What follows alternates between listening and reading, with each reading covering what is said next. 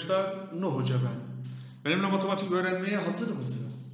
TYT konularının tamamını kapsayan hem matematik hem geometri konularını yakında piyasaya çıkacak olan kendi eserimden seçtiğim örneklerle en basitten başlayıp size anlatmaya, kavratmaya, yıllardır korkulu rüyanız olan bu dersi artık halletmeye çalışacağız arkadaşlar.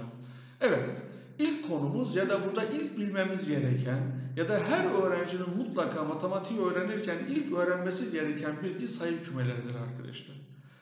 Şimdi geçmişi düşündüğümüzde hep aklıma şu gelir. İnsanoğlunun yüzyıllarca bulmak için uğraştığı bu mükemmel sayı kümelerini ne olur biz de 5 dakikamıza ayıralım ve öğrenelim. Çünkü bunlarsız matematiği öğrenmemiz söz konusu değil. Bunların gerek sembollerini gerek içeriklerini çok iyi bilmek zorundayız.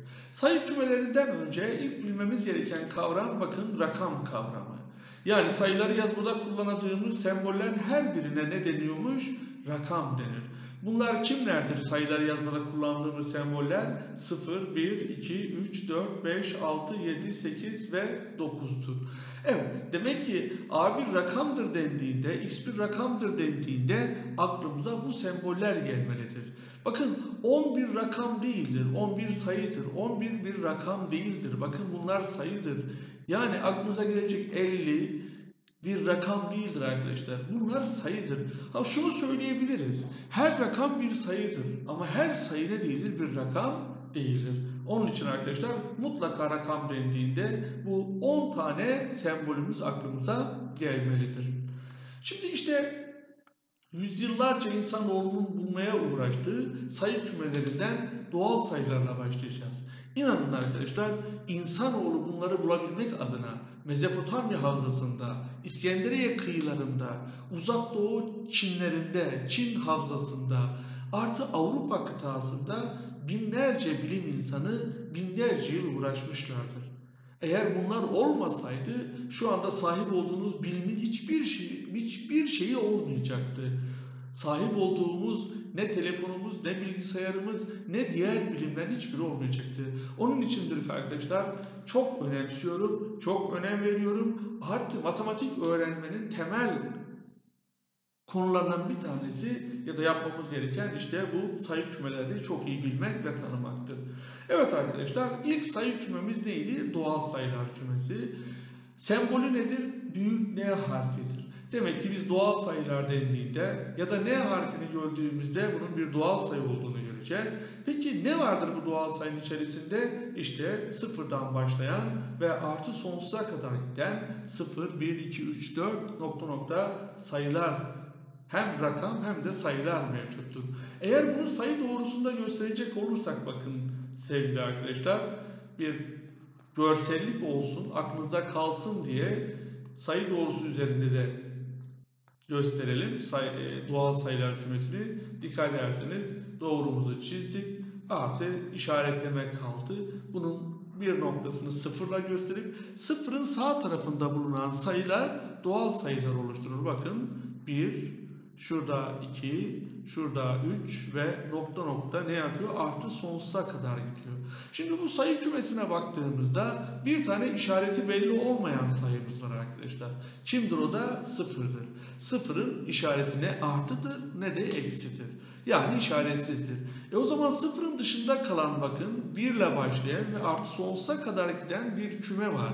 İşte biz bu kümeye pozitif doğal sayılar kümesi ki birden başlıyor da sayma sayıları kümesi adını veriyoruz. E niçin sayma sayıları kümesi denilmiş? Çünkü arkadaşlar evrendeki tüm nesneleri biz sayarken bu kümeyi kullanırız. Demek ki birden başlayıp artı sonsuza kadar giden, içerisinde sıfır bulunmayan bu kümeyi ya ne üzeri artıyla göstereceğiz arkadaşlar arkadaşlar ki bunun açıklaması pozitif doğal sayılar demek veya da bunun yerine S harfini kullanacağız.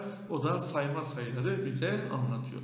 Demek ki arkadaşlar doğal sayı dendiğinde N harfi aklımıza geliyor ve bir de sıfırdan başlayıp artı sonsuza kadar giden sayıları hatırlıyoruz. Peki bundan sonra insanoğlunun bulduğu sayı kümesi hangisidir? İşte ünlü tam sayılar kümesi arkadaşlar. Z harfiyle gösterilir. Dikkat ediyoruz arkadaşlar. Büyük Z harfiyle gösterilir. Tam sayıların içerisinde eksi sonsuzdan artı sonsuza kadar doğal sayıları da içerisine kapsayan sayılar. Yani hem pozitif çünkü doğal sayılarda ne vardı? Bir işareti belli olmayan sıfır bir de pozitif sayılarımız vardı. İşte kümeye baktığımızda dikkat ederseniz tam sayılar kümesine arkadaşlar bakın şu kısım nedir? Doğal sayılardır aynı zamanda. O zaman ne diyebiliriz? Doğal sayılar kümesi tam sayılar kümesinin bir alt kümesi oluşturmaktadır. Yine bunu sayı doğrusunda gösterecek olursak bakın bir görsellik olsun ve aklımızda kalsın ki mutlaka sayı doğrusunda da bu sayıların yerlerini bilmemiz gerekiyor arkadaşlar. Evet oklarımızı koyduk. Şimdi sayılarımızı işaretliyoruz. Şurası sıfır olsun. Sıfırın sağ tarafında pozitif olan sayılar 1, bakın 2, 3 diye giden sayılarımız artı sonsuza gidiyor. Bakın sıfırın sol tarafında ise ki onu da başka bir renkle göstereyim arkadaşlar. Bakın eksi 1, eksi 2, eksi 3 ve bu da eksi sonsuza gidiyor. İşte arkadaşlar bunların tamamını çilesine alan kümeye biz ne adını veriyoruz? Tam sayılar kümesi. Demek ki x bir tam sayıdır, a bir tam sayıdır dendiğinde aklımıza hem negatif hem de pozitif olan sayılar gelecek. İşte bu sırf kırmızı renkle yazmış olduğum sayılar aynı zamanda nedir? Doğal sayılardır. Yani doğal sayılar tam sayılar kümesinin içerisinde bulunurlar. Onun için biz deriz ki doğal sayılar kümesi tam sayılar kümesinin neyidir? Bir alt kümesidir arkadaşlar. Yine kümeyi incelediğimizde tam sayılar kümesini incelediğimizde dikkat ederseniz bir negatif tam sayılarımız var. Bakın onu z üzeri eksiyle gösteriyoruz. İşte eksi 1, eksi 2, eksi sonsuza kadar gidiyor. Demek ki negatif tam sayı dendiğinde bu sıfırın sol tarafı aklımıza gelecek. Pozitif tam sayımız var. Z üzeri artıyla gösteriliyor. O da bakın birden başlayıp artı sonsuza kadar gidiyor arkadaşlar. İşte tam sayılar kümesinde dikkat ederseniz sıfır arada kaldı. Sıfırın işareti yok. İşte diyoruz ki tam sayılar kümesi, Z kümesi nedir? Negatif tam sayılar kümesi birleşim sıfır. Bakın bu çünkü hiçbirine ait değildi. Birleşim pozitif tam sayılar kümesi olarak karşımıza çıkmış olur sevgili arkadaşlar. Evet arkadaşlar. Tam sayılardan sonra karşımıza gelen sayı kümemiz bakın rasyonel sayılar. Rasyonel sayılar Q harfiyle gösterilir ve tanımı, her şey tanımında gizlidir bakın arkadaşlar. Dikkat ederseniz rasyonel sayılar kümesi ortak özellik yöntemiyle yazılmış. Ve şöyle bir iyicene okumaya, anlamaya çalışalım. Diyor ki Q kümesi, rasyonel sayılar kümesi öyle A, B eleman Z'lerden oluşmuştur ki. Yani biz ne yapacağız? A ve B'yi bundan bir önce öğrendiğimiz tam sayılar kümesinden iki tane eleman seçeceğiz. Ve biz bunları A bölü B şeklinde yazacağız. Yalnız bir uyarı var. Deniyor ki B sıfır olmayacak. Niçin sıfır olmayacak? Çünkü matematikte hala belirleyemediğimiz, belirsizlik dediğimiz, ismini koyamadığımız sayılar vardır. Yani matematikte arkadaşlar bakın 3 bölü 0 nedir? Tanımsızdır arkadaşlar. Tanımsız. Tanımlayamamışız. Tanımsız. Onun için bir sayının kesir ya da rasyonel sayı olabilmesi için kesinlikle paydasında sıfır bulunmaması gerekiyor. O zaman aklıma hemen şu sorular geliyor. Ya eminim sizin de geliyordur. Acaba 1 bölü 2 bir rasyonel sayı mıdır? 2 bölü 3 bir rasyonel sayı mıdır? Ya da kök 2 bölü 5 bir rasyonel sayı mıdır? Ya da 3 bir rasyonel sayı mıdır? Eksi 7 bir rasyonel sayı mıdır? Bunların çoğunu şey, uzatabiliriz arkadaşlar. O zaman bize böyle bir soru sorulduğunda yani 1 bölü 2 bir rasyonel sayı mıdır? 2 bölü 3 bir rasyonel sayı mıdır diye sorulduğunda yapmam gereken tek şey tanıma dönmektir arkadaşlar.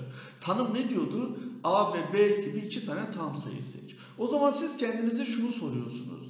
1 bir tam sayı mıdır? Evet. 2 tam sayı mıdır? Evet. O zaman madem bunun ikisi de tam sayıysa 1 bölü 2 de nedir? Bir kesirdir. Bir diğer adıyla rasyonel sayılar kümesinin bir elemanıdır. Yine 2 bölü 3 bir rasyonel sayı mıdır? Yine kendimize şunu soruyoruz. 2 bir tam sayı mıdır? Evet. 3 tam sayı mıdır? Evet. O zaman bu da bir rasyonel sayıdır 2 bölü 3. Peki gelelim kök 2 bölü 5'e. Burada tanımadığımız ya da rasyonel sayıların içerisinde bulunmayan bakın bir eleman var. Kim? Kök 2. Kök 2 nedir? Bir irasyonel sayıdır arkadaşlar. Yani bir tam sayı değildir. Eğer bu tam sayı değilse bakın e, bunun rasyonel sayı olabilmesi için mutlaka pay ve paydada bulunan elemanların ne olması gerekiyordu? Tam sayı olması gerekiyordu. İşte kök 2 tam sayı olmadığı için sevgili arkadaşlar diyoruz ki kök 2 bölü 5 ne değildir? Bir rasyonel sayı değildir. Peki 3 bir rasyonel sayı mıdır? Aslında biz 3'ü nerede gördük? Doğal sayılarda gördük.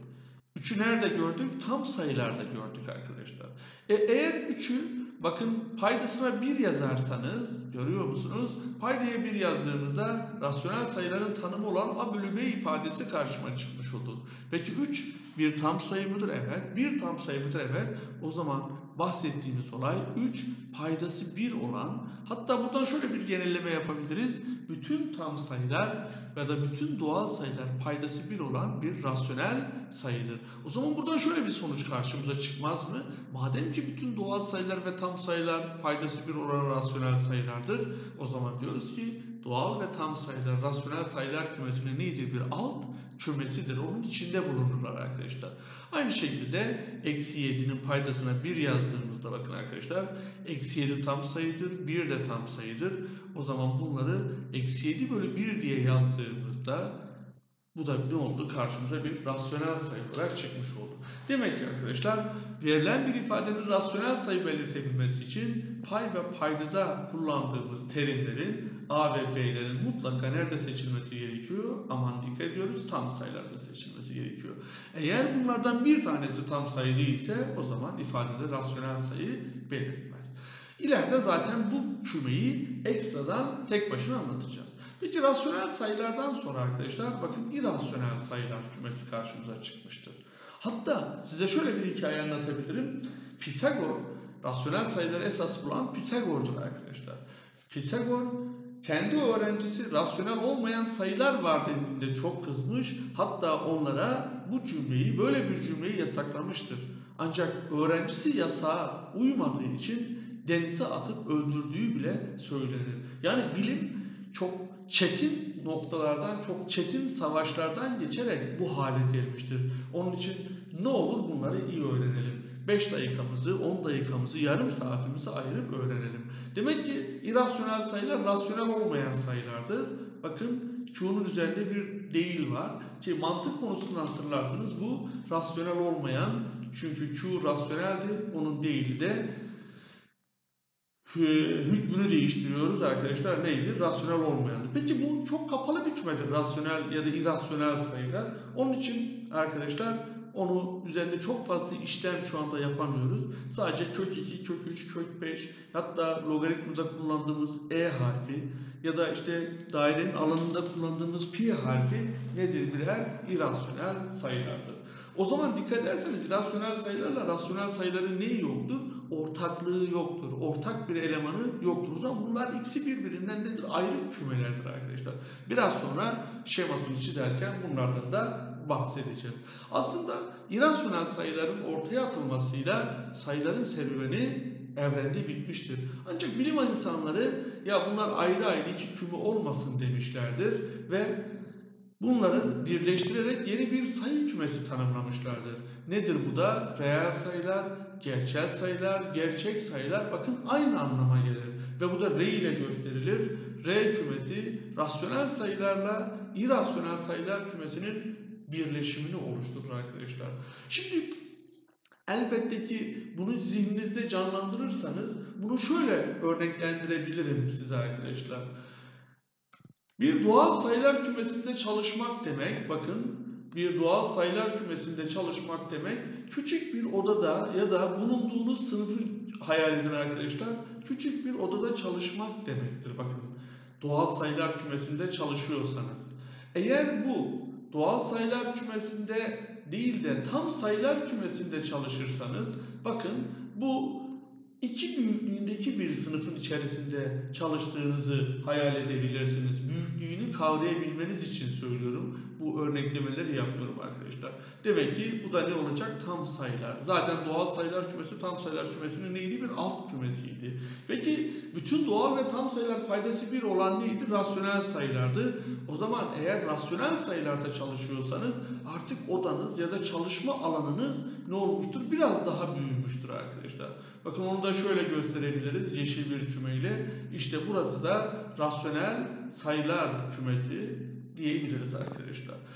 Bakın gittikçe ne yaptı? Kümemiz genişledi. İşte bunun yanında, bakın bunun yanında bununla ortak bir tarafı olmayan ne dedik? İrasyonel sayılar kümemiz mevcut arkadaşlar. Bakın buraya da şöyle bir irasyonel sayılar kümemizi koyalım. Güzelce. Bu da rasyonel olmayan sayılarımız. İşte bu iki kümeyi birleştirdiğimizde ortaya çıkan kümeye de arkadaşlar ne diyoruz biz? Reel sayı diyoruz. Bakın oraya da reel sayı adını verelim. Yani bizim reel sayı kümemiz ikisini birleştirdiğimde arkadaşlar bakın buna da R diyelim. Diğer bir adı gerçel sayı, gerçek sayı ya da reel sayı. Dikkat ederseniz doğal sayılar kümesi bakın arkadaşlar tam sayılar kümesinin alt kümesidir. O da rasyonel sayılar kümesinin bakın neydi? Bir alt kümesidir. Ekstradan bir irrasyonel sayımız mevcuttur. Bakın o zaman dikkat ederseniz gerek doğal sayıyı, tam sayıyı kim temsil ediyor? Rasyonel sayı. Reel sayı kümesi dediğim gibi yeni bir sayı kümesi değil. Sadece rasyonel sayılar kümesiyle irrasyonel sayılar kümesinin birleşiminden meydana gelmiştir. O zaman ata binip reel sayılar kümesi içerisinde dolaşmak herhalde en geniş, en hür şekilde hareket etmektir. Onun için sorularda x bir reel sayıdır dendiğinde bakın ben inanın çok rahatlıyorum. Niye? Alanım çok geniş arkadaşlar. Ama bunun yerine x bir doğal sayıdır dendiğinde alanım artık küçülmüştür. Orada çalışmakta, hareket etmekte çok zordu. Onun için eğer sınırlarımızı iyi bilirsek, sayı kümelerinin içeriklerini, sembollerini ve sınırlarını iyi kavrarsak işte bu tip sorularda x bir reel sayıdır, doğal sayıdır, tam sayıdır, rakamdır dendiğinde rahatlıkla o sorularda başarılı olabiliriz arkadaşlar. Evet sevgili arkadaşlar, sayı kümelerinin tanıtımını yaptıktan sonra şimdi bunları pekiştirmek, bunları oturtmak adına sizinle yine kitabımda birlikte çözelim par kısmında örneklerimiz mevcut. Evet, şimdi hemen arkadaşlar her bir arkadaşımızın ben yazmadan önce bunların karşılarına, burada videoyu durdurun, karşılarına isimlerini yazın. Bakın ne demişiz? Bu sembollerin karşılarına adlarını, isimlerini yazınız. Biraz önce öğrendik. Neydi arkadaşlar? Tek tek yazalım. Bakın Z kümesi tam sayılar. Tam sayılar kümesi arkadaşlar. Peki Q kümesi neydi? Rasyonel sayılar. Rasyonel sayılar kümesi.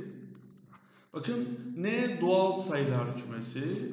Bakın doğal sayılar. Her arkadaşımızın doğal sayılar Bakın bunu tereddütsüz bir şekilde yazabiliyor olması gerekir arkadaşlar. Bu ise bakın tam sayılar üzerinde artı var. Pozitif tam sayılar. Bakın pozitif tam sayılar. Şimdi bu kümeyi yazacak olursak arkadaşlar pozitif tam sayılar kümesi z üzeri artı neydi? Birden başlıyordu. 3 sonsuza kadar gidiyordu. Aslında biz bu kümeye başka ne demiştik? Pozitif doğal sayılar kümesi. Başka? Sayma sayılar kümesi de demiştik. Demek ki z üzeri artı, n üzeri artı ve s kümesi nedir? Aynı kümedir. S kümesi sayma sayılar kümesi, sayma sayıları, sayma sayıları kümesi. Z üzeri eksi negatif tam sayılar. Bakın negatif tam sayılar. Bunu da isterseniz elemanlarla yazalım. Z üzeri eksi Eksi birden başlayacak bakın. Eksi sonsuza kadar. Neresiydi? Sıfırın sol tarafı. Q üssü bakın bu rasyonel olmayan diğer adıyla irasyonel bakın. irasyonel sayılar. Şimdi bunlar işte kök 2, kök 3, kök 5, kök dışına tam olarak çıkamayan sayılardı. Reel sayısı reel sayı, gerçel sayı, gerçek sayı. Neydi bu reel kümesi arkadaşlar? Rasyonel sayılarla irrasyonel sayılar kümesinin birleşimiydi. Bakın R üzeri artı dediğimiz pozitif reel sayı, pozitif, evet, pozitif reel sayılar ve R üzeri eksi de negatif reel sayılardır arkadaşlar. Negatif reel sayılardır. Onun için mutlaka her arkadaşım tekrar ediyorum hiç takılmadan, tereddüt etmeden sembollerini ve içeriklerini, bu sayı kümelerini mutlaka iyi bilmesi gerekiyor. Peki ikinci bir örneğimizle devam ediyoruz arkadaşlar. Bakalım yazarımız ne sormuş bize. Diyor ki yine semboller verilmiş. R, Z, N üzeri artı, Q, Z üzeri artı ve N. Kümelerinin eleman sayıları bakımından küçükten büyüğe doğru sıralayınız arkadaşlar. Evet kümelerini eleman sayıları bakımından. Dikkat ederseniz en küçük küme buradan N artı ile Z artıdır. Zaten bunlar aynı kümelerdir. O zaman diyoruz ki N artı eşittir kime? Bakın Z artıya. Peki bu iki küme kimin alt kümesidir? Bakın doğal sayıların alt kümesi bakımından küçükten büyüğe doğru. Evet. Bu küçüktür. İsterseniz şöyle gösterelim. Kimdir? Doğal sayıları kümesinden küçüktür. Peki bu da aradan çıktı. Peki doğal sayıları kümesi kimden küçüktür? Tam sayıları kümesinden küçüktür. Eleman sayısı bakımından. Peki o kimden küçüktür? Rasyonel sayılardan küçüktür bakın. Q'dan ve hepsi kimden daha küçüktür?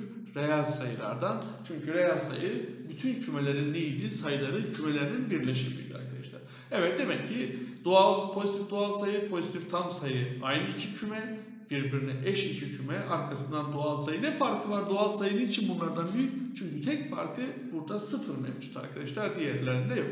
Arkasından doğal sayılar tam sayılardan küçük, tam sayılar rasyonel sayılardan küçük, rasyonel sayılar da reel sayılardan küçüktür diyoruz. Evet, üçüncü örneğimizle dersimize devam ediyoruz. Bakın bu defa da 12, eksi 3, 0, 1 bölü 2, 5, 7, kök 3, eksi 12, 8 sayılarından kaç tanesi rakamdır demiş. Rakamı hatırlayacak olursak 0'dan 9'a kadar semboller. O zaman bakın 0 bir rakamdır, 5 bir rakamdır, 7 bir rakamdır, 8 bir rakamdır. O zaman 1, 2, 3, 4 tanesi nedir arkadaşlar rakamdır. Kaç tanesi doğal sayıdır? Kalemimizin rengini değiştiriyoruz bakın. Doğal sayılar neydi? Sıfırdan başlayıp artı sonsuza kadar giden sayılardı. 0 bir doğal sayı, 5 bir doğal sayı, 7 doğal sayı, 8 yine nedir arkadaşlar? Bir doğal sayı. Burada bir de neyimiz var bakın? 12'miz var. O da bir doğal sayı. Eksi 3 doğal sayı değil. Kök 3 zaten değil. Eksi 12 değil. 1 bölü 2 değil. O zaman 1, 2, 3, 4, 5 tane de neyimiz mevcuttur? Doğal sayımız mevcuttur. Peki kaç tanesi tam sayıdır? E zaten ne demiştik arkadaşlar? Bütün doğal sayılar tam sayı. Ekstradan da bakın o zaman bunları da yeşille gösteriyorum. Negatif sayılarda tam sayı. Bakın 5, 7, eksi 12 ve 8 arkadaşlar. Yeşilleri saydığımda 1, 2, 3, 4, 5, 6 tane de neyimiz mevcut? Tam sayımız mevcut. Peki devam ediyoruz. Kaç tanesi rasyonel sayıdır? Bütün doğal ve tam sayılar aynı zamanda neydi? Paydası 1 olan rasyonel sayıydı. Bakın siyah işe e, işaretliyorum. 1. Bakın eksi 3 bir rasyonel sayı, 0 bir rasyonel sayı, 1 bölü 2 bir rasyonel sayı. Peki 5 bir rasyonel, 7 de rasyonel, eksi 12 de rasyonel ve 8 de rasyonel sayı. O zaman 1, 2, 3, 4, 5, 6, 7, 8 tane de rasyonel sayımız var arkadaşlar. Kaç tanesi irrasyoneldir? Zaten burada bir tane irrasyonelimiz var. O da kimdir? Kök 3'tür. Yani bir tane. Kaç tanesi reel sayıdır? Bunların tamamı reel sayıdır. 9 tane var. O zaman 9 tane sayımız reel sayıdır diyoruz arkadaşlar. Ve bu şekilde de sayıların içerisinden hangi sayının hangi kümeye ait olduğunu çıkartabiliriz ya da çıkartabilmeliyiz arkadaşlar hiç tereddüt etmeden. Evet hemen dördüncü örneğimizle yolumuza devam edelim dersimize. Bakın artık yavaş yavaş sorular gelmeye başladı. A ve B farklı rakamlar olmak üzere. İşte bahsettiğim olay oydu arkadaşlar. Bakın burada öğrencimizin mutlaka öncelikle bilmesi gereken rakamın ne olduğu. Yoksa eğer bunu bilemezseniz A ve B farklı rakam dendiğinde A ve B yerine ne yazacağını bilemezsiniz ama artık öğrendik. Rakam dendiğinde sıfırdan bakın başlayıp nokta nokta 9'a kadar olan semboller olacak. Ne olacakmış A ile B? Farklı olacakmış arkadaşlar. Peki A artı B toplam olabileceği en büyük ve en küçük değer. E şimdi arkadaşlar en küçük değer için bakın A artı B'nin en küçük değeri için A ve B'ye en küçük vereceğiz. O zaman rakamlar içerisinde en küçük olan kim? 0 var. Bir de birimiz var. O zaman alabilecek, toplamın alabileceği en küçük değer kimdir? 1'dir. E peki en büyük değer için şuna en küçük diyelim bakın. En büyük değer için de arkadaşlar en büyüklerini vereceğiz. Kim var? 8 ile 9 var. Farklı dediği için 8 artı 9 o da eşittir bakın 17 olarak karşımıza çıkar. Bu da alabilecekleri en büyük değerdir.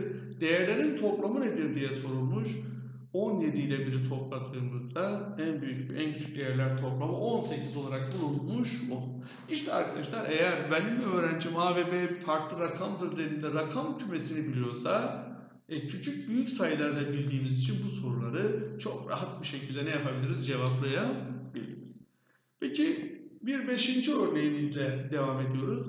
Bu sefer A ve B doğal sayı. Bakın altında çizmiş yazarımız doğal sayı. Doğal sayılar N harfiyle gösteriliyordu. Sıfırdan başlayıp bakın bunu hemen zihnimizde buraya yazmak zorunda değilsiniz ama ilk etapta da yazabilirsiniz soruları çözerken hata yapmamak için.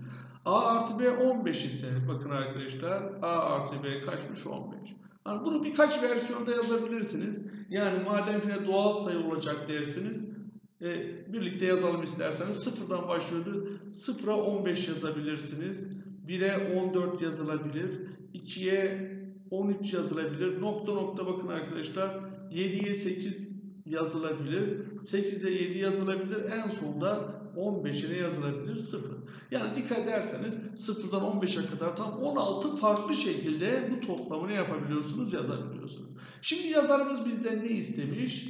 Diyor ki A çarpı B'nin en küçük ve en büyük değerlerini bulunuz. E şimdi arkadaşlar soruyorum bakın eğer 0 15 verirseniz A çarpı B 0 çarpı 15'ten kaç çıkar? 0 çıkar. En büyük içinde sayıların birbirine yakın olması gerekiyor. Bakın 7 ile 8 verdiğimizde 7 çarpı 8 87 56 olarak bulunmuş olur. Demek ki en küçük değer 0 en büyük değer kaçtır? 56 olarak karşımıza çıkmış olur. Evet sevgili arkadaşlar hemen 6. örneğimizle yolumuza devam ediyoruz dersimize. Yine bu sefer ne demiş bakın A ve B tam sayılardır. E, o zaman hemen yine tam sayılar cümlesini şurada yazacak olursak Z eşittir. Nereden başlıyordu? Eksi sonsuzdan başlıyordu. Bunun içerisinde çünkü hem negatif hem pozitif sayılarımız mevcut. Eksi 2, eksi 1, 0, 1, 2 ve artı sonsuza kadar gidiyor. Demek ki arkadaşlar A ve B tam sayı diyorsa biz A ve B yerine bu kümeden elemanlar seçeceğiz. Bu defa bize çarpımları verilmiş bakın. A çarpı B dikkat ederseniz arkadaşlar 56 olarak verilmiş. Yani A çarpı B'miz 56 ve buna göre diyor A artı B'nin en büyük ve en küçük değerler toplamını istiyor bizden. Şimdi aman burada arkadaşlar neye dikkat ediyoruz? Kümenin nerede seçildiğine. Peki nerede seçilmiş kümemiz, elemanlarımız? Bakın tam sayılarda seçilmiş arkadaşlar. E tam sayılar içerisinde negatifler var, pozitifler var. O zaman ben en küçüğü bulurken şunu yapabilirim. Bakın A yerine eksi 1, B yerine de eksi 56 yazabilirim arkadaşlar. Dikkat ederseniz çarpımları ne olur? Eksi 1 çarpı eksi 56'dan artı 56 çıkar. İşte bunların toplamı da A artı B'de arkadaşlar. Bakın eksi 1 artı ya da eksi 56 o da eksi 57 olarak en küçük değer karşımıza çıkar. Bu en küçüğüdür. Peki bir de neyi soruyor? En büyüğünü soruyor. En büyük içinde arkadaşlar bu sefer artı 1'e artı 56 alırım. Çarpımları madem 56 olacak o zaman da A artı B toplamı bakın 1 artı 56'dan o da 57 olarak en büyük değer bulunmuş olur arkadaşlar. İşte burada şu sonuca gelebiliriz. Çarpımları sabit olan iki sayının toplamlarının en büyük olmasını istiyorsan sayıları birbirine ne alacaksın? Uzak seçeceksin arkadaşlar. Yok en küçük olmasını istiyorsan yakın seçeceksin diyoruz. Ancak burada A ve B tam sayı seçildiği için negatif sayılar da devreye girdiğinden dolayı arkadaşlar bunlara biraz dikkatli bu sorularda olmamız gerekiyor. Peki hemen 7. örneğimizle devam ediyoruz. Bakın A ve B reel sayılar olmak üzere artık daha geniş kümedeyiz. Biraz önce doğal sayılar, tam sayılar, sayma sayılarını liste yöntemiyle yazıyorduk. Ama reel sayılar kümesini ne yapamıyoruz? Liste yöntemiyle yazamıyoruz. Çünkü bunun içerisinde sonsuz tane rasyonel ve irrasyonel sayılar mevcut. Yani aklımıza gelebilecek, kullanabileceğimiz bütün sayılar artık bu reel içerisinde. Ve bize ne denmiş? A artı B 7 ise A çarpı B'nin en büyük değeri nedir? Ne dedik arkadaşlar? Toplamları sabit olan iki sayının çarpımlarının en büyük olmasını istiyorsak sayıları birbirine yakın seçeceğiz arkadaşlar. E reel sayı dediğine göre ben A'yı bakın 7 bölü 2 birbirine eşit seçiyorum. B'yi de 7 bölü 2 seçtiğimde çünkü en yakın böyle seçebilirsiniz birbirine eşit. O zaman arkadaşlar çarpımın en büyük değeri 7 bölü 2 çarpı 7 bölü 2 o da 49 bölü 4 olarak bulunmuş olur. Bakın arkadaşlar aynı soruda şayet bize şurayı reel değil de tam sayı deseydi yazarımız bakın burası tam sayı olsaydı tam sayı ve yine bizden a çarpı b'nin en büyük değeri sorulsaydı o zaman biz arkadaşlar 7 bölü 2 bir tam sayı olmadığı için a artı b 7 ise bunların birbirine en yakın 4 ile 3'ü seçecektik. 4 ile 3'ü seçtiğimizde işte o zaman a çarpı b'nin aldığı en büyük değer kaç çıkacak? 4 çarpı 3'ten 12 olarak çıkacak.